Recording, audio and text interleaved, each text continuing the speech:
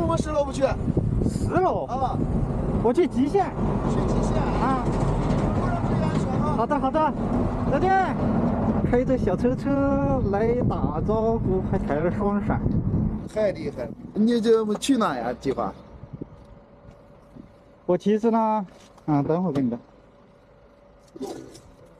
哎，你干嘛呀？喝瓶我有啊，来来喝吧喝吧，哎喝吧，新的新的，来吧来吧来，太客气了来来来，一个就够，一个就够，一个。拿拿上拿上不是，我拿不了，嗯留着留着留着。啊，谢谢谢谢。啊，太热情了。来去哪呀哦？普通人我不敢跟他说，怕他们吓到。然后呢，我是去法国，啊，呃，可能年轻人比较容易接受。这个从哪来的？北京去新疆骑车子去新疆，啊，你要到哪儿上？靠腿的。骑了多久了？北京过来？今天十四天吧，两个礼拜。这么厉害？晚上住哪儿了？我一般睡帐篷，然后如果没电了，我会适当住住旅馆。你这个车多少钱呢？四千多，四千。对，车还就专门那车带来了怎么办？自己补。一天骑多长时间了？就是我平路的话是差不多一百，到山西都是三路多嘛。啊，如果特别陡，大概是五十。去新疆，那那赶过去你还能回来之后咋回来？几段？我新疆之后就去这个车去了，去哪儿？出国。呃，抖音上这两天看的那个那个那个那个人不是环游了好几个世界了？那个叫个啥来着？吴远行，啊，那那那你去了法国以后，再当这自行车一直跑，呃，有可能去其他大洲了吧？澳大利亚啊或者新西兰。澳大利亚啊，有多少公司了？全网五十万嘛。你卖不卖货了？不卖。我只想分享路上最真实的状态。真实的。啊，呃，我觉得这个可能往后的一个方向就是，大伙看带货会看腻了，也不是每个人都想买货，其实大部分人想看外面的世界啊。太励志，太励志了。今年多大？呃，我三七，三十七。对，八六了，一车行李有多少公斤呢？咱自行车五十左右吧，可以提一下，应该是差不多。这这些都是帐篷啥的。嗯，哎呀，那呀，成了，成了。你你晚上就住帐篷？啊，那你跑了以后，你你老婆在哪呢？单身呀，啊？单身单单身。啊，这主要太励志了，真的太励志了。嗯，我这个这手机充电就是呃咋充了？就是的，嗯没，电了我一般就是如果就是现在不是高科技嘛，啊有那种快充的，啊有的时候其实会考虑就是去餐馆吃顿饭，啊啊！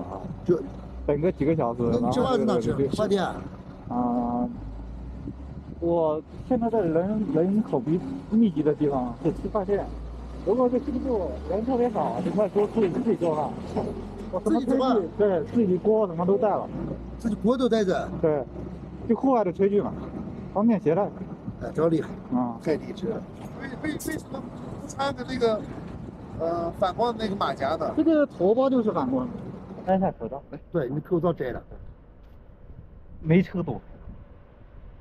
你你个轮胎磨坏了咋办？外胎一般不会轻易带不带？不是，到了五千公里就换了，百就换了对，无论坏没坏，那也得走到大地内胎的话自己补。吃饭了没？吃饭没？我请你吧。哎，我吃了饭没没吃饭谢谢吃饭谢谢 啊，不用客气啊。行，路上注意安全。行，谢谢啊，谢谢啊拜拜，啊啊啊！我会持续关注你抖音好的好的 梦想仗剑走天涯，再见。都是想梦想梦，曾梦想仗剑走天涯，奈何里，现实里，总是一团糟。都有责任，所以每个人都有自己的人生道路要走。走不了的，我就给大伙分享一路所见所闻，带大伙看一看外面的世界。然后这么吵的吗？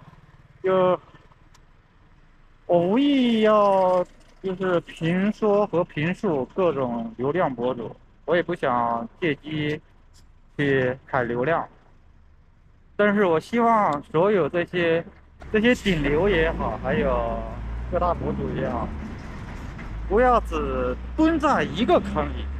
你们知道我所说的坑是什么坑？占着流量，然后只有带货这一个坑。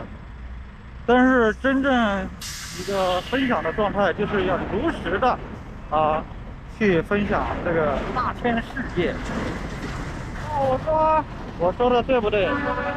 我们这普普普通通的人，看着行走世界的各种人，也是想希望，就是这个镜头之外的这双眼睛，可以带着大家一起去感受万千世界。